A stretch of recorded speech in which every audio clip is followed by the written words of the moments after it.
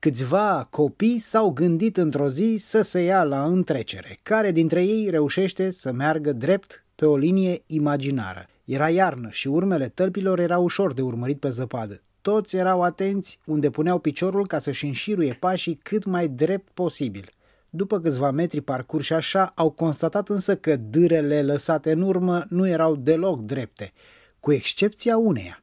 Toți l-au întrebat pe puștul care reușise să meargă drept. Cum ai făcut? Păi cum să fac? Nu m-am uitat la picioare, am fixat cu privirea pomul de colo și am încercat să ajung drept la el. Nu e așa că sunt multe situațiile în viața noastră când privirea ne este îndreptată exclusiv în jos, spre realități materiale, spre pământ sau spre noi înșine, și drumul este șerpuit și potignit în tot felul de obstacole. Pe drumul drept rămâne însă cine are un reper, iar când reperul este deasupra, calea nu numai că este dreaptă, ci devine și urcuș sau creștere.